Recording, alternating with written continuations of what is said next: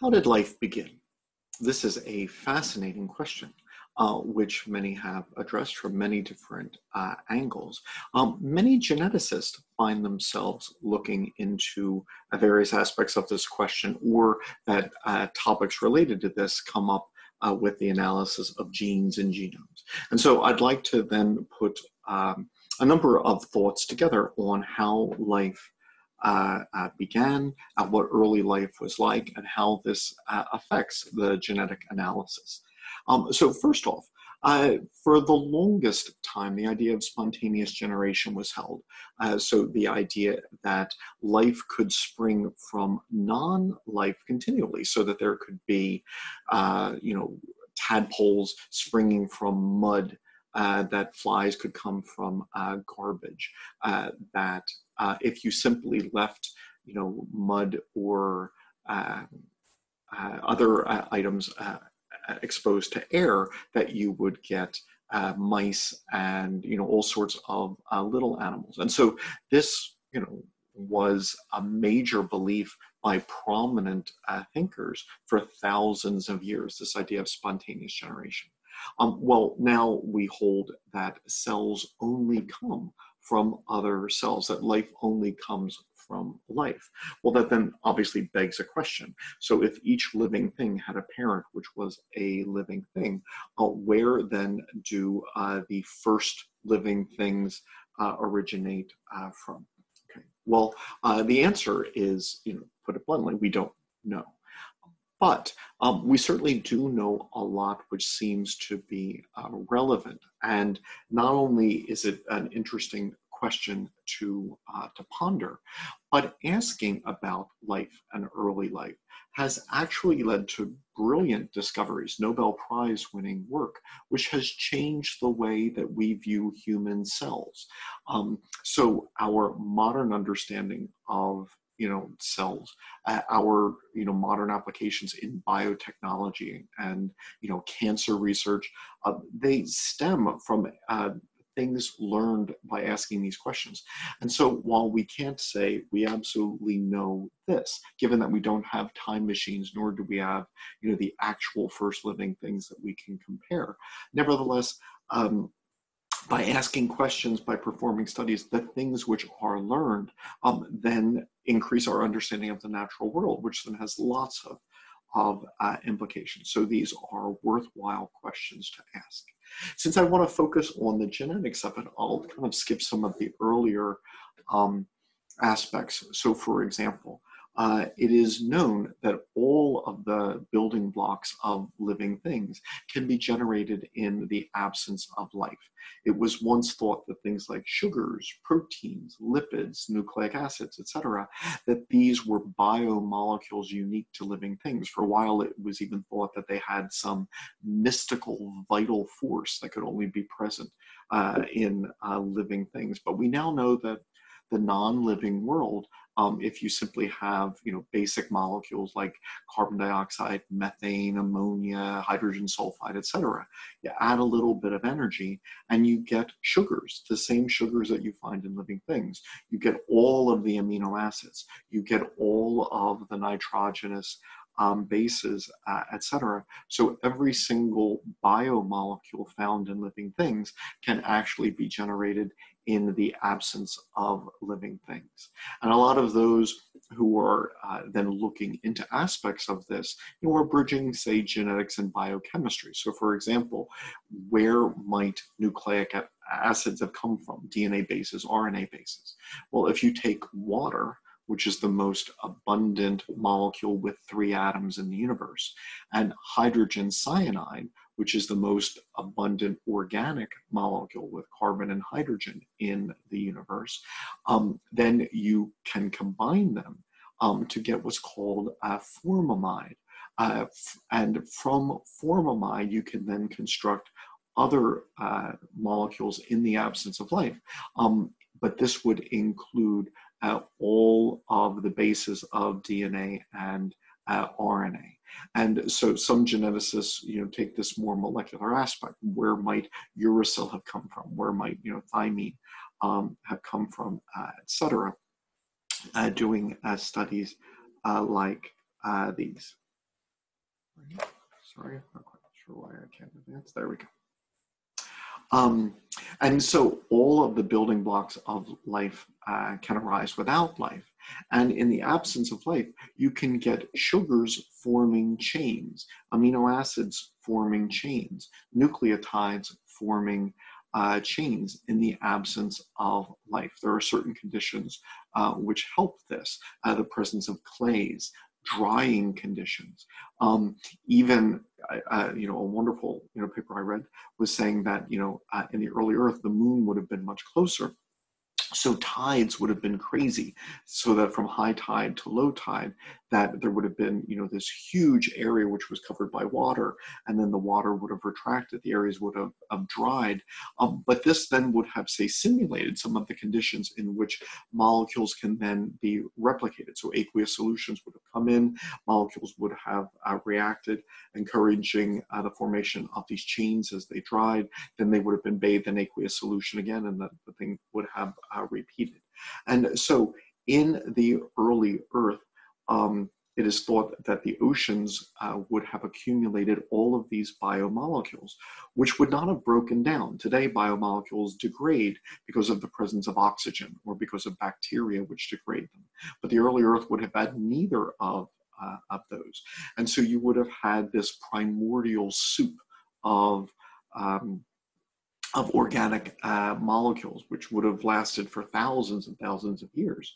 Um, and in this mix, you can take, you know, say lipids and proteins, mix them with water, and you get these spheres, microspheres. You might want to call them coacervates and other things. Well, they can grow kind of. And, and by grow, I don't mean they're not alive, they're just bubbles essentially, but they can accumulate more molecules and grow and then split into two.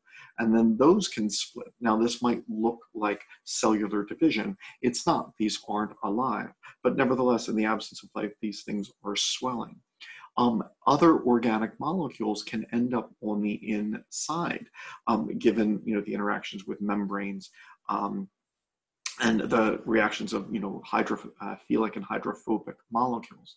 If any of these molecules, like RNA molecules, um, could perform a chemical reaction, you would then have essentially bubbles in which chemical reactions were uh, occurring. All of this could happen in the absence of life. Now, how do you bridge, you know, these microspheres with maybe a few chemical reactions uh, in them to the precursor of living things? Well, that's the big question. That's the big gap where this is still not fully understood. It is thought that RNA plays a key role. It is proposed that while modern cells use DNA to encode RNA, which then encodes protein, that that would have been far too complex for the very first cells. But RNA could have served as all three of those, as a genome, as an intermediary, and as the thing which does the doing in the cells, you know, uh, performing various tasks the way that proteins do today. Uh, now, this has led to you know, a huge amount of research into RNA. And we've learned so much, especially about how much RNA is doing in our cells. You know, when I was in school, once again, DNA makes RNA, which makes protein, protein runs the cell. That was the dogma. Um, and since then, in large part stemming from origin of life studies asking, you know, might RNA be more complex? We've realized how much RNA is doing in our cells that we didn't know of. All right, so it turns out RNA is far more involved than what we thought. And it was, you know, once again, asking these questions um, uh, which uh, got uh, to uh, that point. Um, now, a couple of things we've learned about RNA is that in addition to the basic four RNA nucleotides, there's lots of additional ones. You can modify RNA uh, nucleotides. And so there's more than just four. And when you look now at the breadth of potential RNA uh, nucleotides. It's clear that with all of these extra functional groups, um, RNA approaches protein in the complexity of functional groups, uh, which would then allow it to then perform uh, various uh, tasks uh, with, uh, within cells. Another aspect which we now appreciate is just um, how complex the three-dimensional structure of RNA molecules uh, uh can, uh, can be. Um, and so um, at some point, uh, we think that the complexity of RNA, including RNA molecules which can catalyze chemical reactions. Once again, the discovery of this was Nobel Prize winning work, and we now appreciate that even in our cells, RNA molecules can be ribozymes. So not all chemical reactions are catalyzed by protein enzymes. Some are catalyzed by ribozymes, RNA molecules. This would include the splicing of DNA and the editing of uh, genomes. This would include uh, what happens in a ribosome where amino acids are joined to make uh, proteins. So some not only do can chemical reactions be performed by ribosome, uh, uh, by RNA, but also some of the most important uh, chemical reactions in cells, the editing of the genome and the synthesis of proteins is actually catalyzed by RNA. So at some point, then there were cells. And we think that while in the RNA world, that uh, RNA served as the genome and the doer of cells.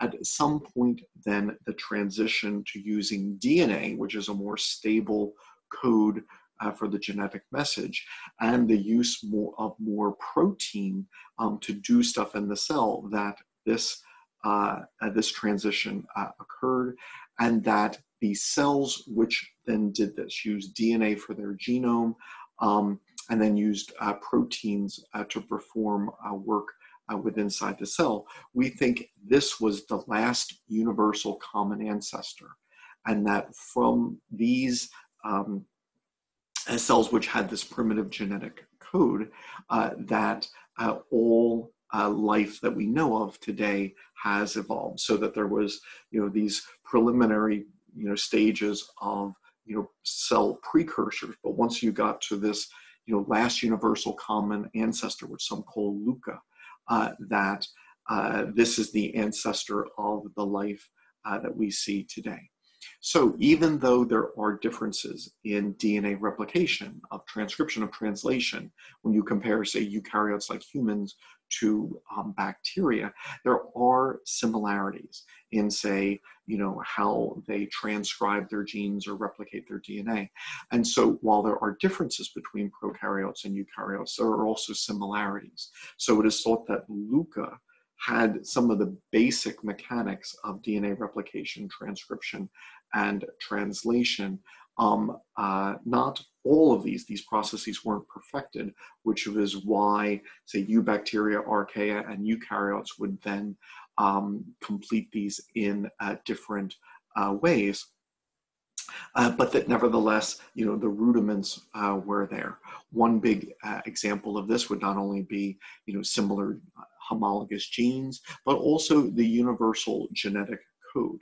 So even if you're going to use triplet codons to signify amino acids, there's no reason that all living things would share the same codon um, uh, meanings uh, unless uh, all living things were descended from ancestors which then had this and they've inherited it from uh, those ancestors. So the DNA code is what we call universal. So UUU, that um, would be translated as phenylalanine, whether you're a human cell, a plant cell, a fungal cell, an amoeba, or a bacterium. CCU gets translated as proline, CAU as histidine in all groups of, uh, of organisms. So this is a genetic, uh, I'm sorry, this is a universal code. Now, there are a couple of exceptions among bacteria and protists where what most groups interpret as a stop codon, there might actually be uh, a meaning uh, to the, uh, the codon there. But with, once again, these rare exceptions, the DNA code seems uh, to be uh, universal. Um, and so uh, the original cells had a genetic code and DNA replication mechanisms uh, which have been inherited in all uh, living things that descended from them. Uh, the same for the mechanics of transcription. And then the same for translation. Once again, there are differences between, say, the ribosomes of you know, bacteria and eukaryotes, but there are enough similarities um, uh, to indicate that uh, these then uh, are uh, descended uh, from ancestors which used ribosomes to translate messenger RNAs to make uh, proteins. So all living things then have modified the ancestral structures. Now, um, one of the fascinating things about ribosomes is that it is a mix of RNA and protein. And it is thought that this is inherited from the world where the transition between RNA and protein was occurring. RNA actually does the most important job in the ribosome. It is RNA that serves as the enzyme which joins amino acids in a peptide bond. But the proteins help to maintain its shape and to regulate it. And so this is what we think is a model for those ancestors of cells, that RNA was doing stuff, these big complicated molecules of RNA, but that the early proteins were small structures which helped the RNA maintain its shape and helped to make its, uh, uh, its uh, function optimal. It was only later that then proteins then became more elaborate and became the primary doers of uh, the cell, uh, and that uh, RNA uh, no longer had that primary uh, role.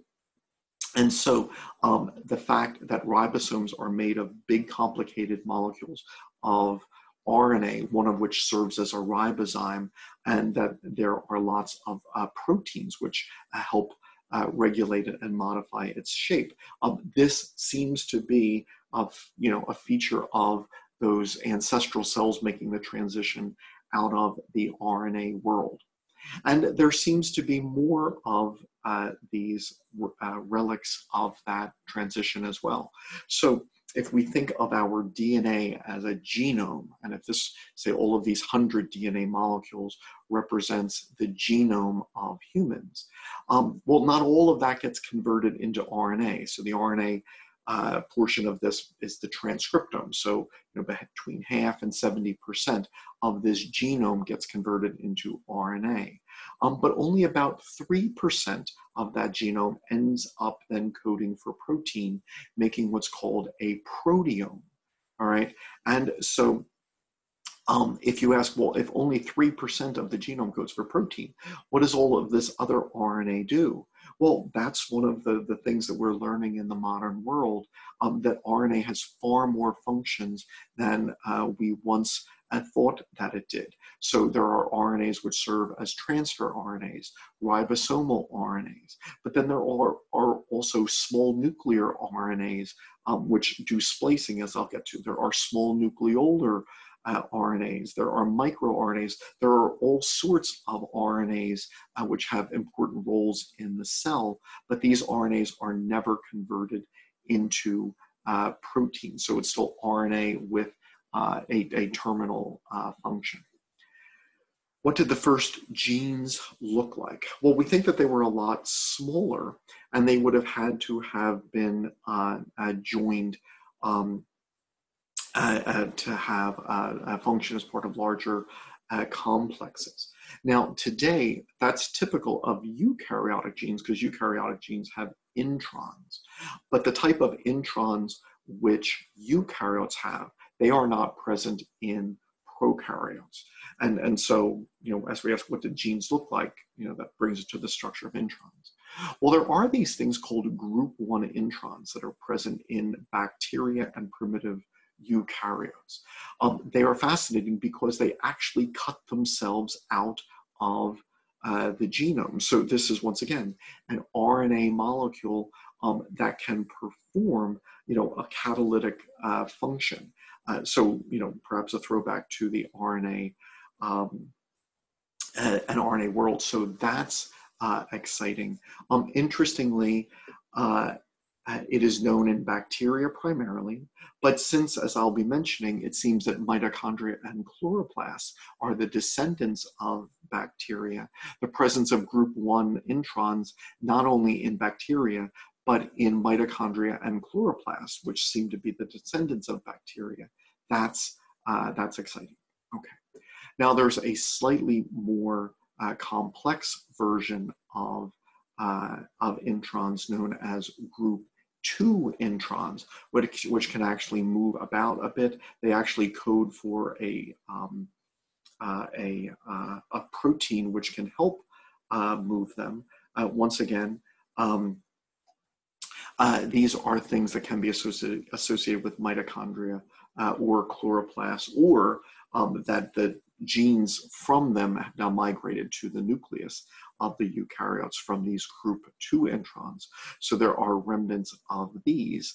Um, but it seems that from then group 2 introns comes then the type of intron uh, which typifies then the eukaryotes.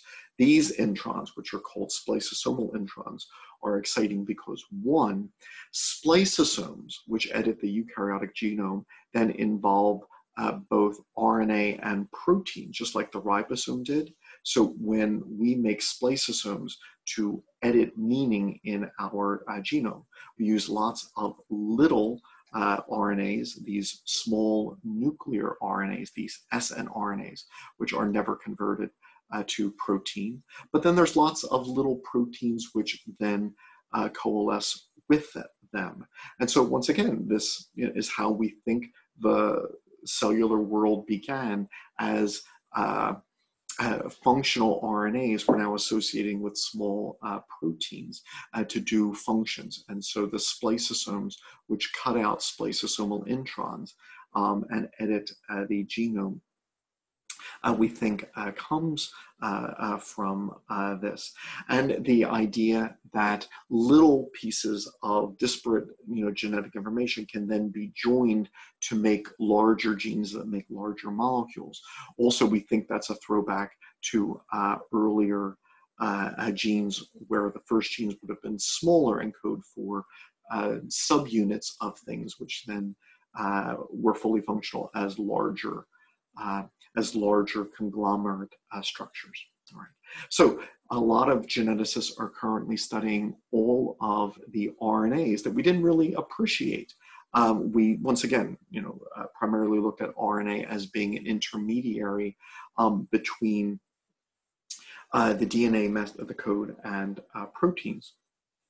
Um, but now there's all of these other uh, types of RNAs. Now, because they're so small, you know, it was harder to find uh, uh, to find them or to know what to search for uh, originally, and that's an active area of uh, of research. Once again, you know, perhaps this you know, was at least in part inspired by you know the question about earlier cells, but it turns out these are incredibly important in the regulation of human uh, diseases, um, in uh, biotechnology, and so you know this has led to this uh, great understanding of uh, life. You know, um, far more uh, advanced than what we had had um, primitively. Okay, so as we compare living things, one of the things that strikes us is that even though bacteria and humans are so vastly different, that we share stuff. Not only the uh, mechanics of uh, much of DNA replication, transcription, translation, um, but then also so many other uh, so many other genes. So, for example, I digest food with serine proteases, um, but bacteria have serine uh, proteases. I carry oxygen with globins, but bacteria have uh, uh, globins. We could go on and on where many of the genes which we find in humans are actually modified versions of genes that we find in bacteria. And so, therefore, we think that LUCA the last universal common ancestor, not only had DNA, RNA, and, and, protein, but had a number of uh, features which are now shared among all living things, having existed in the first uh, living things, including transcription factors, even though eukaryotes will make far more advanced use of things like transcription factors. The first transcription factors then originate in um, in uh, bacteria. Now, we can test this by looking for, say, the presence of genes. You know, bacteria have serine proteases, so do I. Bacteria have G protein coupled receptors, so do I. Uh, bacteria have kinases, so do I. Uh, but then we could also take um, homologous genes and then compare their sequences. So, for example, if you say, oh, you know, there are ribosomal RNAs in bacteria and in eukaryotes and in all living things, let's share the, uh, uh, let's compare the sequences.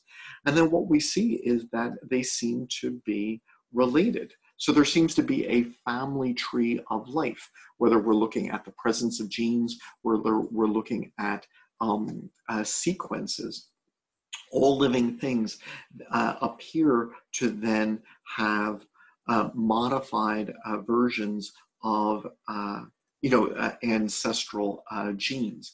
And the great tree of life gets split into eubacteria that's a primitive form of bacteria archaea a different group of archaea. So, you know, bacteria seem to form these two big groups, the eubacteria and the archaea, and then the eukaryotes, which would include animals, uh, plants, and, uh, and fungi.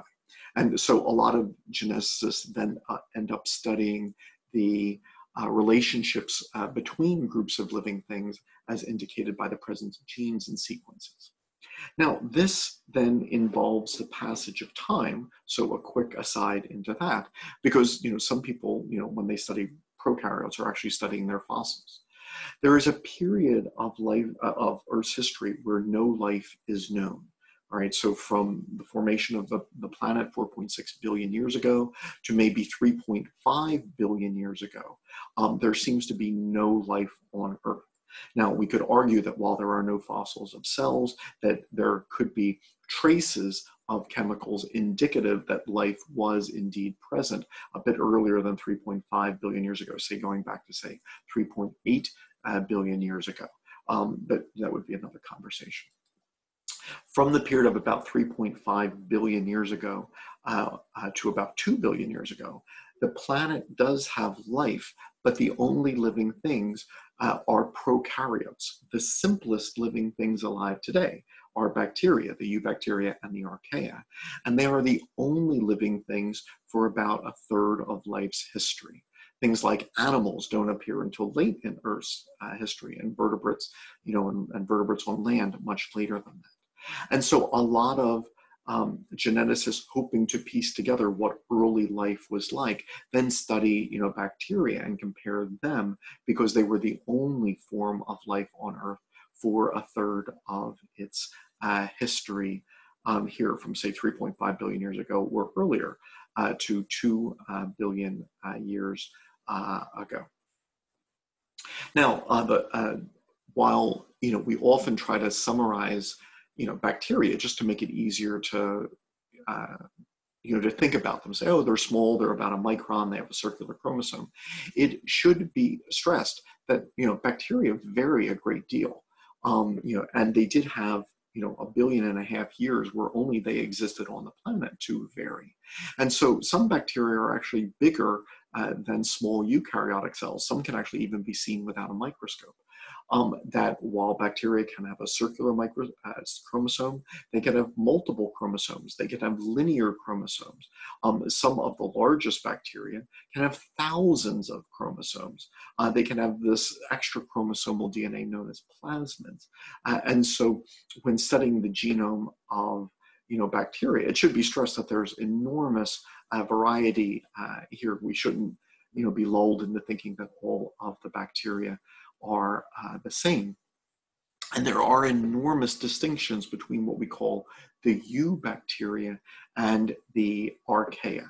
So bacteria do not fall into one group. We think that, you know, from the outset, uh, early in life's history, there were then two groups, uh, which then uh, give us the two groups of life we find today.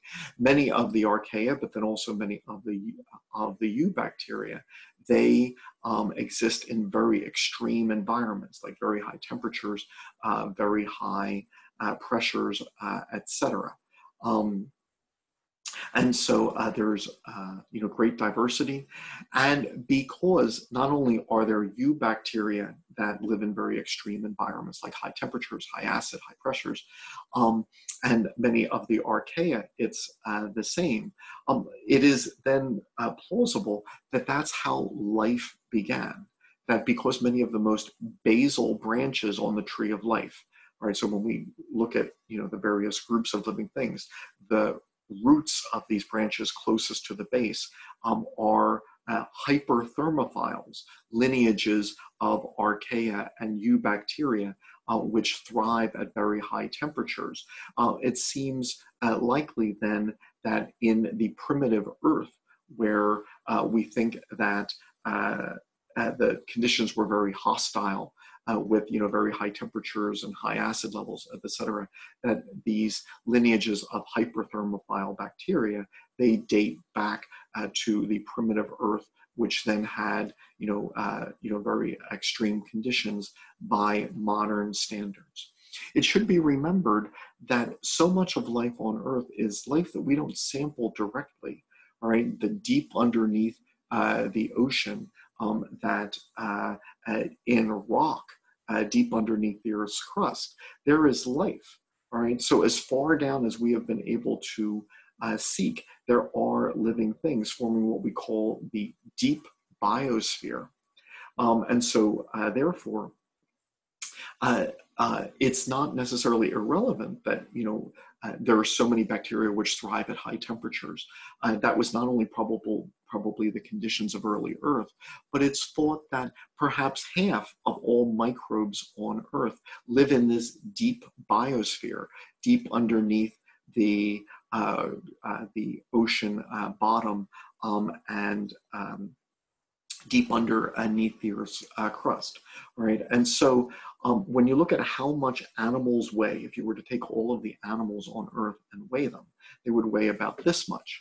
But then if you weigh all of the archaea and all of the eubacteria, it far exceeds that, all right? And, and it's thought that about half of these bacteria, that would be maybe a third of the living things on Earth, um, they then uh, are in this deep biosphere. And so, if you, we want to understand life on Earth, how life started, you know, we're not really sampling those um, those organisms, and so that may be an area where we need to focus in future research. Now, of all of the bacteria, um, one very significant group forms a kingdom of eubacteria called the cyanobacteria. Now, we often call them blue-green algae, all right, But they are actually uh, a kind of bacteria, and arguably one then of uh, the most uh, significant.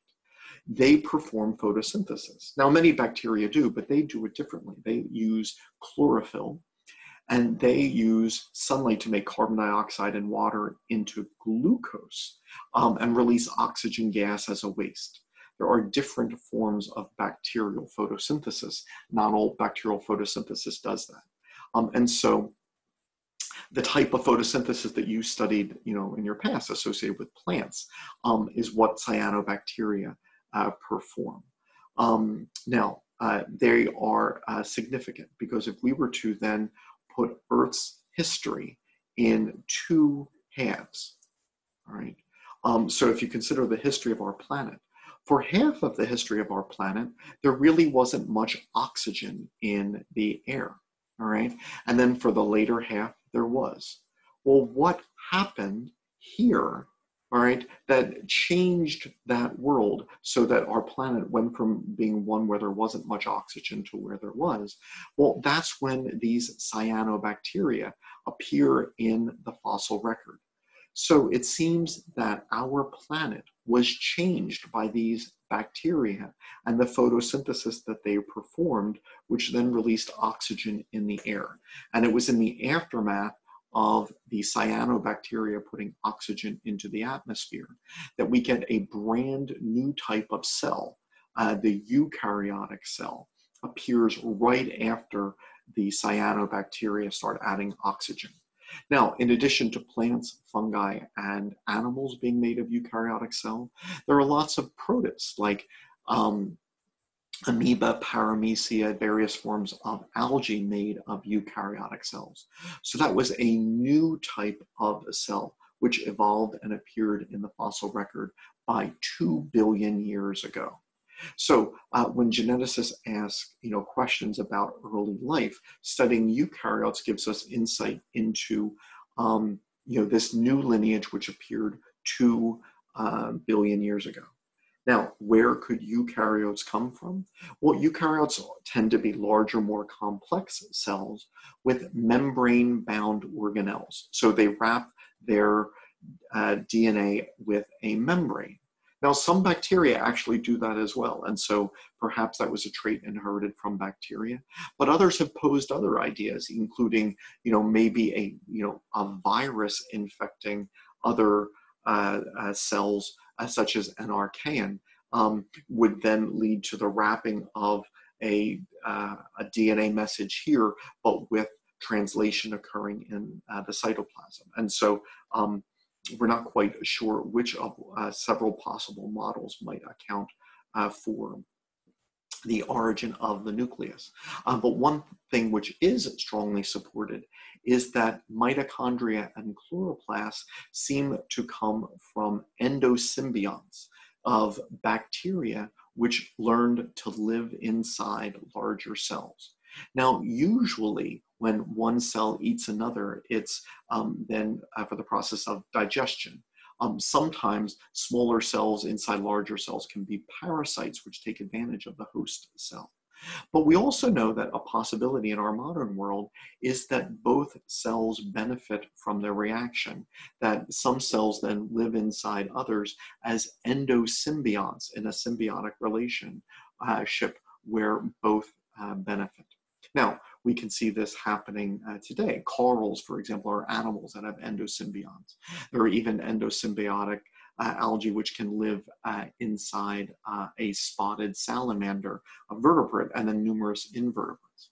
But what we think happened at the dawn of eukaryote history is that um, bacteria adapted to live inside um, larger uh, cells, probably an archaean, uh, which uh, then gave rise to cells living inside other cells where they both benefit.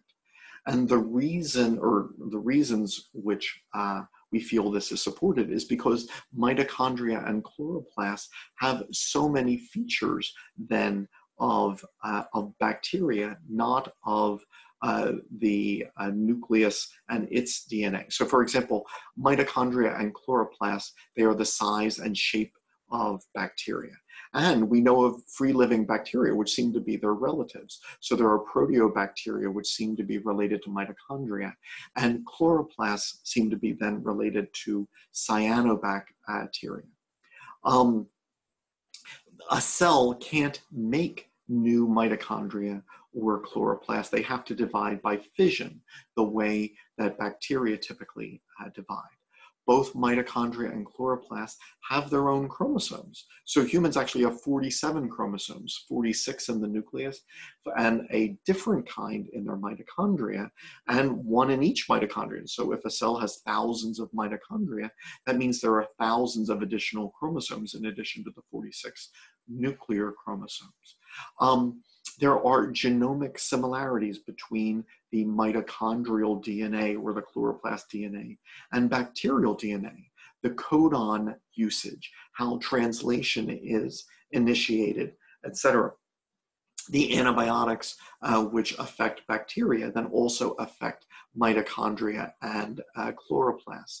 There can be plasmids in mitochondria and lots of other uh, things which link uh, mitochondria um, and cyanobacteria to bacteria which learn to live inside other organisms and gradually adapt over time.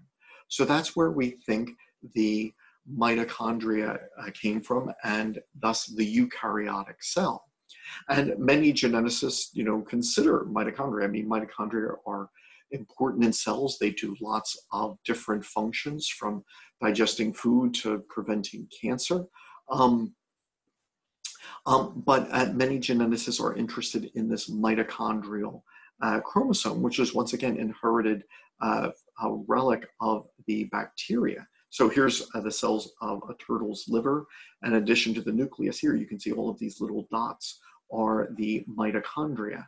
While the mitochondrial DNA is small, um, nevertheless, look at the great number of mitochondria which can exist in cells. This certainly adds up. And there are certainly human uh, disorders, um, genetic disorders, and then even you know some cases of cancer, which are caused by changes in the mitochondrial um, genome rather than uh, the uh, nuclear uh, genome. And so um, the uh, earliest eukaryotes arose from endosymbiotic events, which gave rise to mitochondria, chloroplast in some, uh, which would ultimately then lead to uh, green algae and plants. And then in you know protists, there are other uh, cases of endosymbiosis as well in some other groups of algae. Eukaryotes all share features which um, are lacking in bacteria. So those earliest eukaryotes two billion years ago, they had lots of new genes. Um, which you know affected their membranes, their cytoskeletons, as you can see in this moving amoeba, but then just in how they regulate uh, their genes, their enzymes, the type of cilia and flagella being uh, different uh, from the types of flagella we see in eubacteria and archaea. And so um, as we look at uh, living uh, things, it, living things have evolved over a series of uh, events, and uh, the earliest eukaryotes then give us insights into you know the genetic similarities that all uh, eukaryotes uh, share, and this seems to have occurred over time, and so that in the great family tree of uh, uh, eukaryotes, uh, which you know we are still arguing uh, over. Um, some lineages, such as that of Giardia, seem to be more basal, and so that if uh, we want to get an idea of uh, how um, the first eukaryotes are, Giardia, which doesn't have mitochondria, although seemingly the relative of the endosymbiont um, prior to it uh, developing into a mitochondria. Giardia which don't have sexual reproduction, but which have some of the genes for sexual reproduction, uh, which uh, and then other features. Uh, Giardia perhaps uh, represents a basal um, a basal uh, eukaryote. Other eukaryotic lineages then evolved over uh, time. Um, and so uh, fungi are related to some protists. Uh, plants evolved from green algae um, that had cyanobacteria living inside them doing photosynthesis uh, and then allowed them to adapt, adapt to land. Uh, and then um, animals evolved from protists uh, such as the choanoflagellates, uh, which are the closest relatives of animals as shown by a number of things, um, such as uh, shared genes such as receptor tyrosine kinases, which are very important in uh, animals but are also uh, known in uh, these um, uh, choanoflagellates. Now, a lot of geneticists then, then study how genomes evolve and how specific lineages evolve. And very often this, you know, uh, involves studying the duplication of genes and then how the modified duplicates were then uh, changed into a gene family, such as in humans, the hundreds of kinases in the kinase gene family, the thousand of G protein coupled receptors in the G protein coupled receptor family having uh, evolved from modified duplicates of ancestral uh, genes. Um, uh, there then can uh, uh, be studies of how you know uh, things which were originally uh, small uh, genes um, could then through genetic recombination chromosomal breakages etc then be resulting in genes which are multi-domain genes um, so there are certainly many other directions which one can can go. Um, but I just wanted to kind of give a quick introduction because as geneticists study uh, genes, in addition to helping us understand modern living things, very often um, uh, this actually throws light on what would have happened early in Earth's history with early eukaryotes, early living cells or, or perhaps even going back to the ancestors of cells and certainly different models of how those early events have uh, happened um, have helped us understand um, uh, uh, uh, living things. And so, you know, something as, you know, distant as, you know, uh, pursuing possible uh, hypotheses on how life arose leads to discoveries which then helps us you know understand and treat human cancer or has applications in biotechnology simply because it helps to you know understand life in general and so uh, many geneticists uh, study you know the origin of life and early life. But once again you know these principles you know then unify uh, many of, of, you know the ideas in uh, genetics. And so i wanted to give an overview of them here